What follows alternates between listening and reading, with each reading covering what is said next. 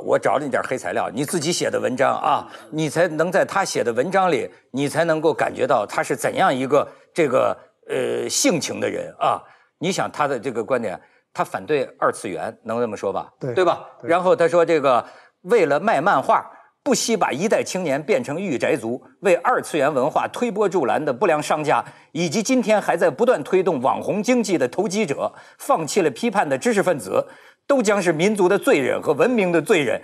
这就是你说的话。然后呢，这个你看，因为他是教孩子们的嘛，老师嘛，他说孩子们很欢乐，他们恶搞的片子剪得很熟练，很逗，但是里边没有一秒钟尝试引人尊重或者深思。时间将被消费，时间被笑声填充。这个世界里没有非洲、中东和印度的苦难，没有祖辈的饥饿和父辈的贫困与无奈。他们在以青春的名义尽情的遗忘和拒绝，拒绝严肃，拒绝成长，拒绝重量，拒绝成为男人和女人。他们将放弃故乡。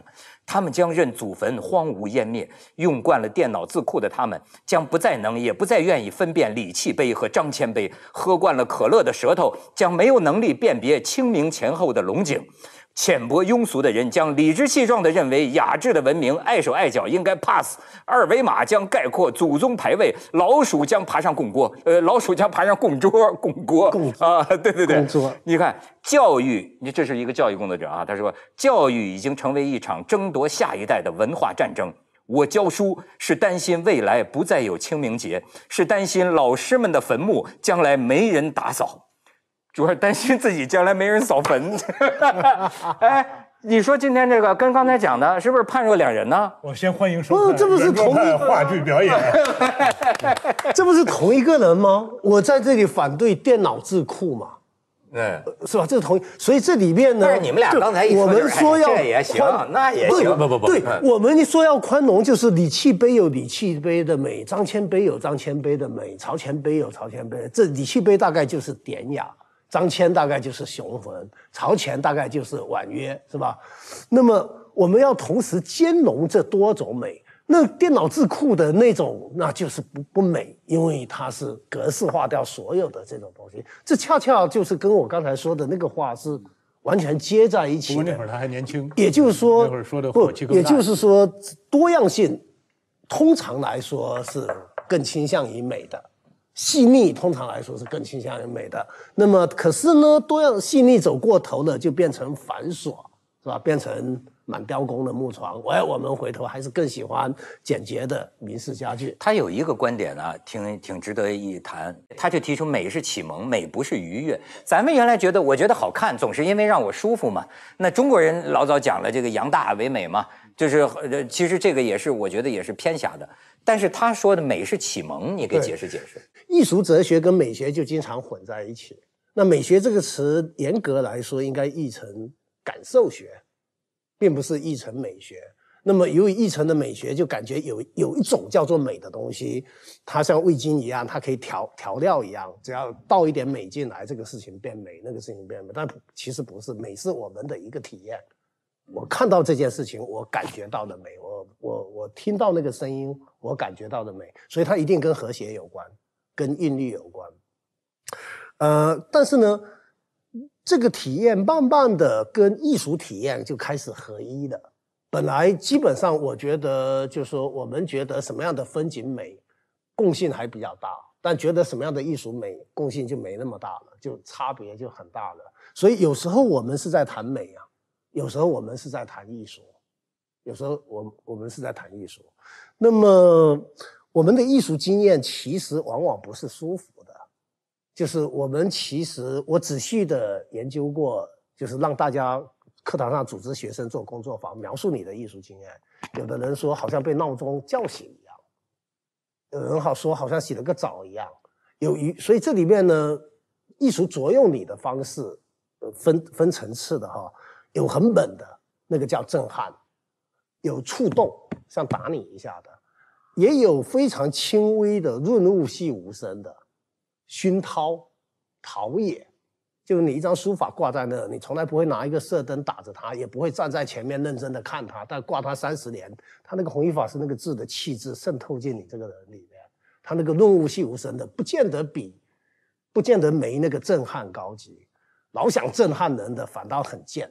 是吧？老想扑到你面前跟你互动的的那种艺术反反而很贱，所以它本身从作用方式上有轻到重的很多种档次。你刚开始碰到艺术的时候，感觉往往是怎么可以这样？怎么会这样？怎么会有人这样画画？怎么会有人这样写诗？往往是不舒服的感觉。然后呢，紧接着呢，哎，其实这样也行，还有点意思，你接受了。所以开始往往是焦虑。首先它不一样，跟别的东西不一样，哎，有差异。呃，首先是有差异，然后接着你焦虑不舒服。先焦虑再愉悦。对，接着呢，你觉得哦，原来还可以这样，你有一种恍然大悟的感觉。这个时候，这种感觉叫什么呢？叫解放感、解放感。你觉得自己以前被一个套路绑住的，现在松绑了，自由了，解放了，解放感。呃，比解放感再往前一步，就是我那种说像被闹钟叫醒的感觉，是苏醒感。你觉得自己过去一直在睡觉，此刻咵被叫醒了。这个被叫醒的感觉，就是我说的启蒙。启蒙不就是一个人以眼眼前以前奔这块布，现在把这块布给你掀掉了？醒人。你你这个这个这个邱老师啊，你不要忘了，他是实验艺术学院的院长，所以呢，我听他的很多这个讲述啊，也帮助我能够理解一点咱们现在看不懂的这种所谓的当代的艺术哈。嗯。哎，就是说当代艺术这更好懂了。对我们平常生活可能都是循规蹈矩的一个套子啊，好比说我们要住在这样一个房子里，我们要这样一个生活方式。但有些时候你看到一个当代的一个装置的一个艺术哈，呃，他的意思，他说启蒙这个点在哪儿啊？就比如说哦，一件事情原来可以不循我们过去的套路来，他给一个启发，就是我们可以自由的想，我们可以自由的想，对吧？呃，你不一定这个先吃饭再睡觉，你也可以先睡觉再吃饭，就是。改变一些，这原来世界是这样的，原来世界还可以，还可以。所以，所以你比如我就很感兴趣，他教他教教教教他女儿，呃，他做一种这个这个训练，嗯，就比如说这个，呃，桃子是飞机，对。是吧？那个、这个、这个、这个，我用飞机刮胡子。六六哥是马桶，不是六 六哥是冰箱，行吗？六哥是冰箱，对吧？更喜欢马桶，呃，对吧？这个这个啊，呃，比如说那个呃，这个灯光是外星人，对，是吧？呃，这个王羲之是块石头，是块砖头。我用灯光来扫地，这是在干什么？嗯，这个其实是在制造隐喻嘛。那么制造隐喻就是在无关的事物之间去搭建联想。但这个联想有有一些联想是胡说，但有一些联想就能够接通某种某种像是真相一样的东西。其实我们今天的日常语言都是古代的诗歌嘛。我我我们说这个呃呃刀呃说呃这个涛哥是个成功的这个。这个登峰造极的艺人，主要是风流是吧？我们登峰造极就默认等于成功，就其实其实它是一个隐喻，像是一个爬到了山顶。我们说我这里有个伤口，受伤的地方像一张嘴，这其实都是曾经是诗歌，但是它今天沉淀进我们的日常语言，我们不再觉得它是诗歌。你说我有个伤口，大家不觉得这么说美了？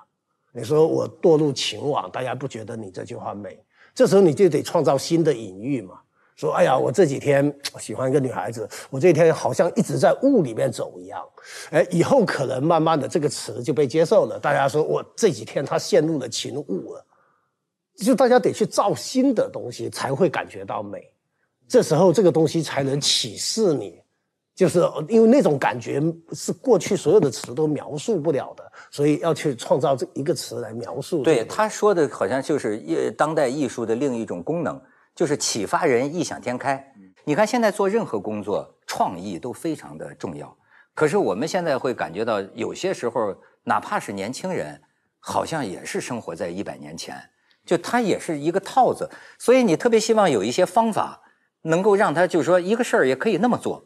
哎，这样就有助于激发创意，这算是个社会功能吧。嗯，但是实际上，就是你们刚才，我我我我就说回到你们刚才两个讲的，咱们本来不是说这个审美吗？哎，呃，我们不要说的那么玄。可是为什么我们觉得我们身边很多东西不美？为什么我们觉得我们很需要美育，或甚至说作为一个民族，现在很需要美育？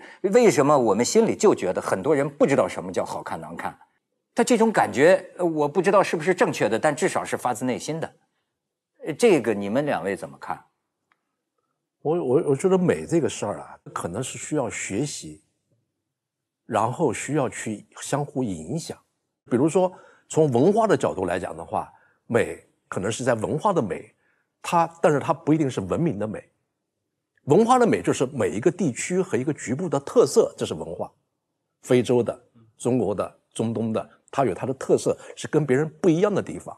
嗯，但是你到文明的美，就要去掉这些共同的呃这种特色地方，变成互相之间能够流动的地方，流动的东西。所以它的文明的美和文化的美其实是不一样的。那到底什么是美呢？呃，局部它有共识吧。你看，银行培养新入职的员工，他们很重要的一个就是得让这员工识别假币。原来的银行，那怎么识别假币呢？一种训练方法是让他每天接触大量的真币，你不停的就是上班八个小时全部数钱，不停的数钱，不停的摸钱，摸惯了真币之后，他的手再一接触假币，他会不舒服。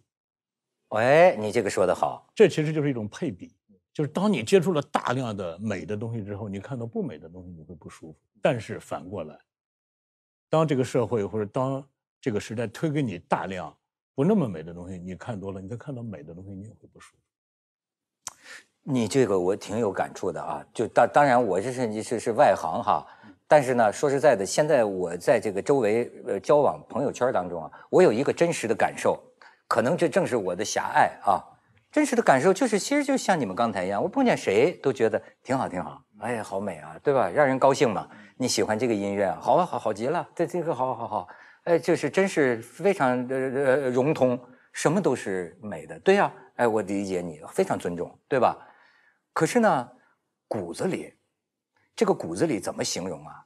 你要是我弟弟，你要是我家人，我就跟你说真话，那就是垃圾。其实我特别好奇，因为徐磊老师是我见过的最随和的艺术家。嗯，因为艺术家一般洁癖特别强大。对，所以我特别就是您眼睛里头有没有让你不舒服的东西？那太多了。那你就像那么，比如说我没有，我是觉得是这样，就是你比如说刚才说的，呃，对别人的一呃一个一个穿的衣服，嗯，我同意你穿成这样，对吧？我心里我觉得哎赞美你可以，但是。我看了另外文涛穿的这么好的品味的话，我是赞赏，我心里的反应是不一样的哦，对吧？你我不会说容忍跟赞美是不一样。对，容忍你别人穿成这样子，你你过去还有人混搭呢。过去讽刺那种乡镇企业家穿的上面西装，大面下面是球鞋，你现在不就这么穿吗？是变成时尚了吗？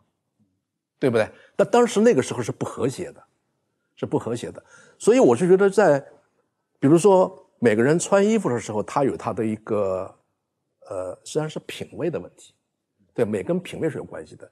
如果你就是穿，呃，大牌的衣服，他可能作为一个对美不太去去把握的人，他就买大牌的衣服。大牌衣服已经把你审美的东西已经给你过滤好了，有设计师，对吧？有很多东西把你过滤好，你穿上去没问题的。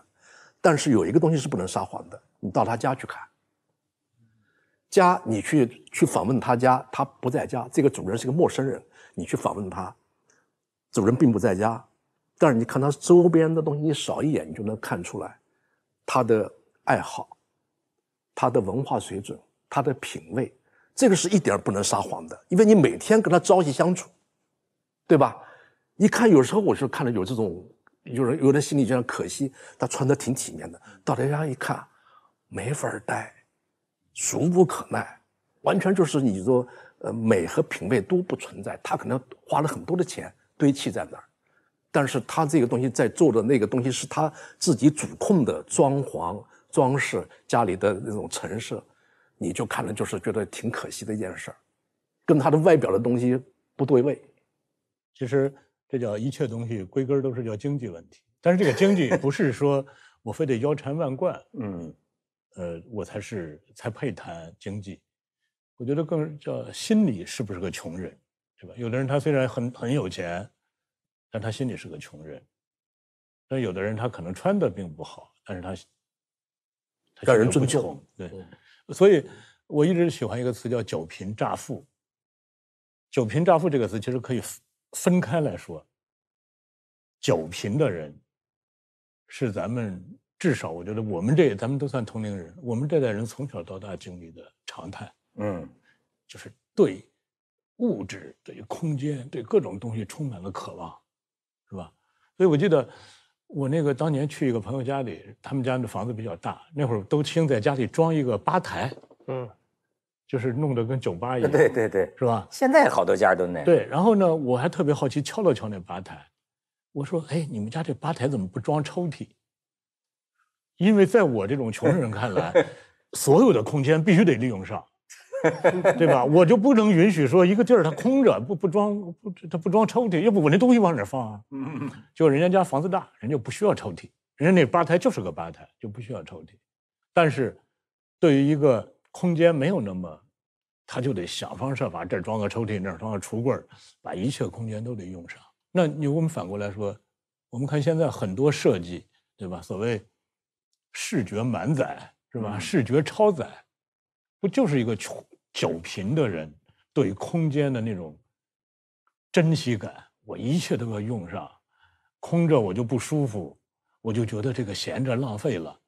它不就是这种设计理念造成的？哎，我接着你这个，我可以说到这个，我看过钱钟书先生哈、他写一篇文章，他里边就讲雅与俗。你看谁都说别人俗，那么钱钟书这篇文章，他就是反复提出了很多标准，说何为雅，何为俗。我最后看他也弄得很复杂，但是最后他似乎得出了一个似是而非的。他说似乎啊，比如说啊，呃，如果你一个贵夫人，你一个手指头上戴了一个钻戒，这个看着也很合合合合适。但是如果说你伸出手来，你五个手指头戴满了，似乎这个就跟俗对有关。对，它就是一种呃，它叫俗，就是过火，哎是吧？这是钱钟书说的。那就是雅，就是跟节制是有关系的。哎，这就是我哎哎，是不是这样说？我所理解的乍富，当一个人乍富之后，他一定要想方设法把所有的首饰都带在身上，因为他一定要提醒你，我有首饰。酒贫之后，他对所有的东西都都得用好，都得用上。乍富之后，我要把所有的东西都挂上。我记得，呃，九十年代，呃，那会儿有了苹果电脑，那会儿苹果电脑在设计那个我们我们的书的时候，那时候一台苹果电脑是三万块钱，那时候北京回龙观的房子十几万一套，也就是说一台苹果电脑大概就是一个房子的首付。当一个苹果电脑这么珍贵的时候，他用苹果的电脑来设计书的时候，他一定要时时提醒你，我用的可是苹果电脑啊。所以你看那会儿的设计的书都没法看，就是随便一个书的页码就是一个阿拉伯数字，他要给你倾斜立体，再勾个花边儿所以啊，你说的、这个、他就是把所有的首饰都挂在。对了对，我再给你升华一个这个精神上的，其实真的是谁都要美呢，要不就说臭美嘛，谁都要美的。有些时候不表现在看得见摸得到衣服上，表现在聊天儿。你看啊，呃，很多人聊天的时候就说，哎，呃，中央美院的那个院长邱呃呃邱世杰，我哥们儿，对吧？徐磊大画家，那我家里的画都是他他他一个欠送给我的。我稿子，一个我同年同月同日呃生。对，这这欠欠欠欠我稿子。我的朋友哎不是之，你发现没有？这也等于是往身上挂东西。对他，你并不要说他俗，这是他的审美观，明白？他觉得这样美。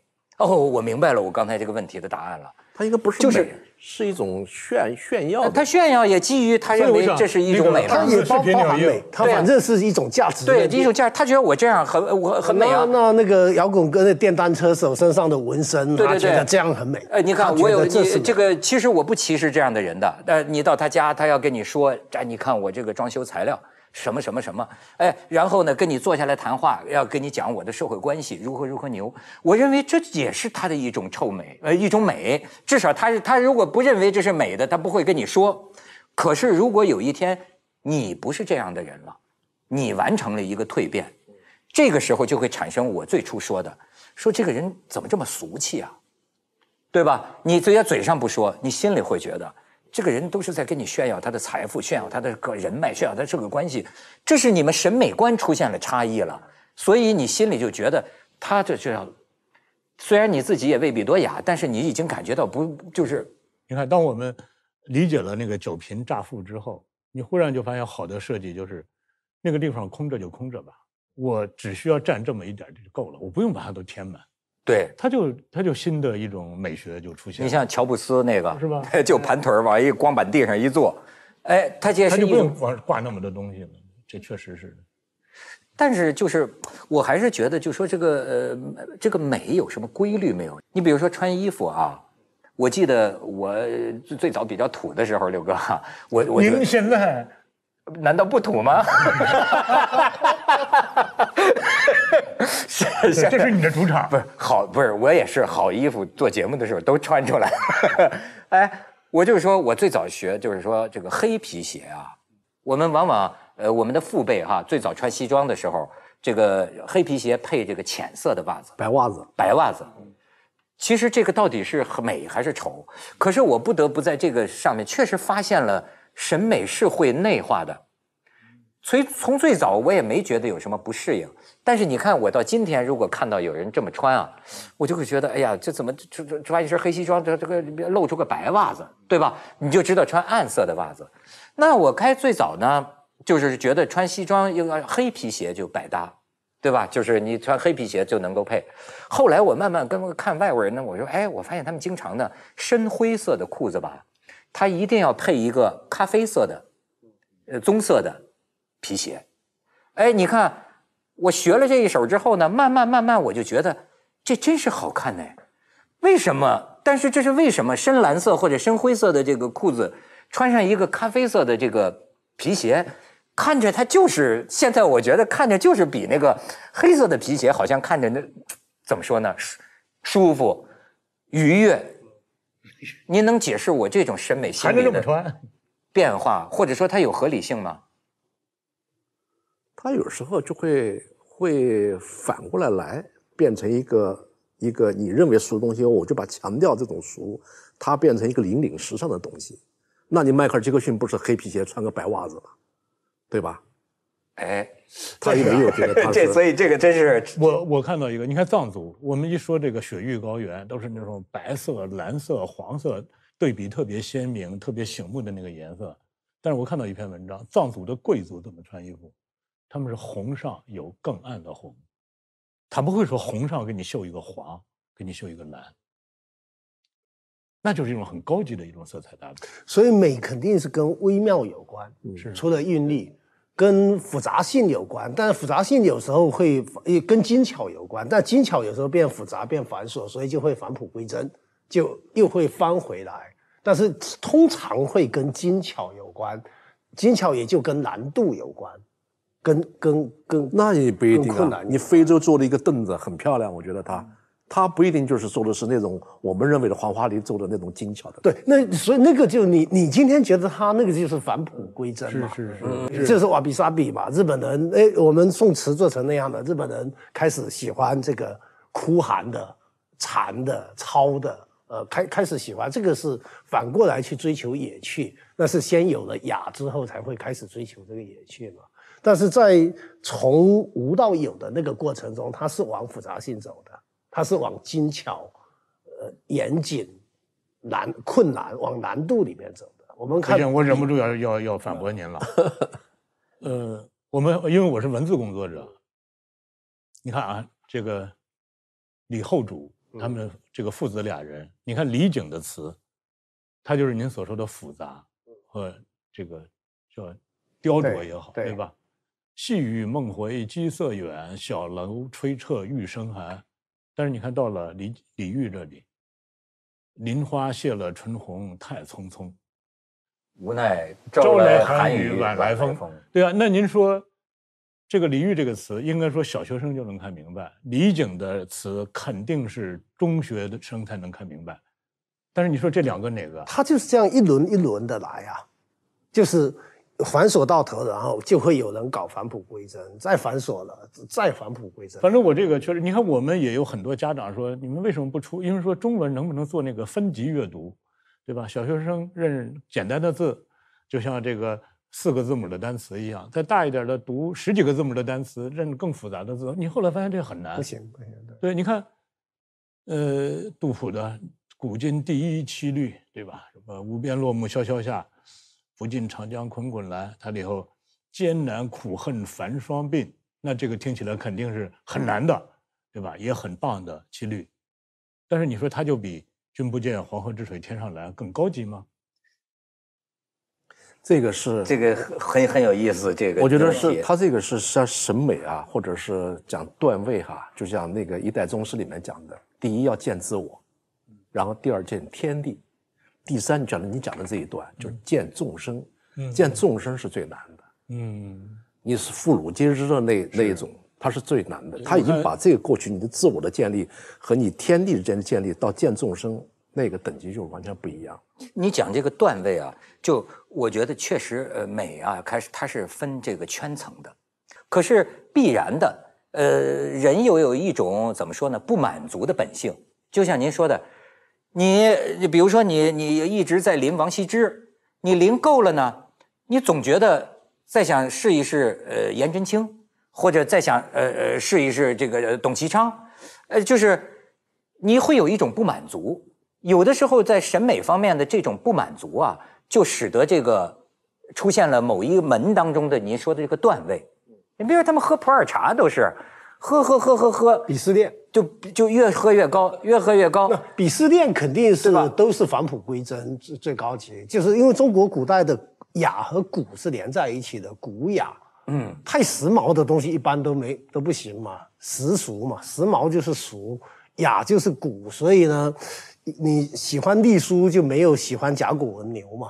这里面当然有鄙视链，那你那那你你表示喜欢这个这个李白，那我直扑《诗经》去了啊，我必须得喜欢《诗经》，只那那屈原都不能看，那他他还是古跟雅连在哎，一起。那老邱，那这个问题我问您，因为问过徐磊老师，比如说，那从艺术史上来说，先有达芬奇，再有伦勃朗，再有什么毕加索，再有康定斯基，但是现在我们是一眼纵观艺术史，那一个人先看了会儿达芬奇，又看了会儿康定斯基，又看了会儿伦勃朗，又看了会儿毕加索、马蒂斯，他会不会神经错乱？不会，我是可以看得出他问题的演变。不，他们其实是完全不同的游戏。哦，他就是另一个游戏，这个是一个游戏。就像你不能拿拿李器碑跟槐树来比，那你那那他们之间就没高下。虽然都属于书法史，但是它其实是不同的游戏。有一个游戏叫制造幻觉，有一个游戏叫画得爽，那是挺不一样的游戏，那都叫绘画。